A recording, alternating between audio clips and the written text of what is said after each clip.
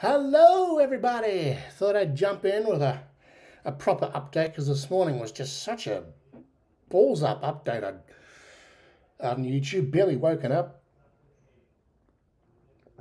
Uh, but with a cup of tea, it's time to talk about that subject which you're all getting sick of. But uh, hell, I've got to keep doing it. The GoFundMe fundraiser for my hopefully to soon be uh, tree booth or tri booth, whatever the bloody hell they call it, uh, from a fantastic company that I'm trying to get a hold of. My fundraiser is currently sitting at 480, which is fantastic. It's um, much, much better than I ever, ever thought it would be.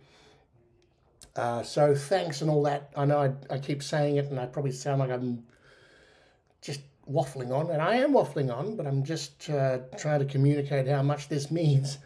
And uh, just saying again that, you know, even if you can't donate, even if you could just share it around, show people the GoFundMe page, show them, you know, and say, listen, you know, maybe have a look at it.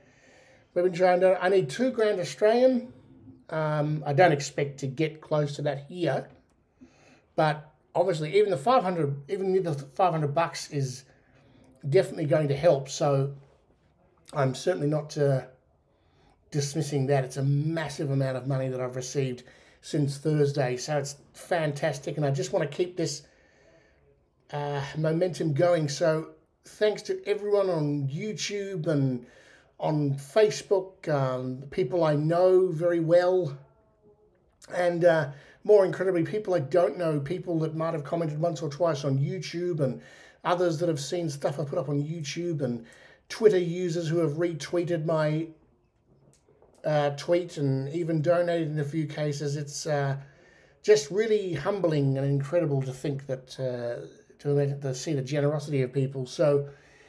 Uh, if you could please keep sharing it around and helping me out as much as you can, it would really, really help me if I can get my hands on this thing. Be much better than trying to rebuild another one and no doubt there'll be problems again and we'll have to rip it down again or but this one will just solve everything. So thanks so much to everyone. And uh, let's continue this journey and let's see how far we can go. Thank you phoenix the dog for shaking your ears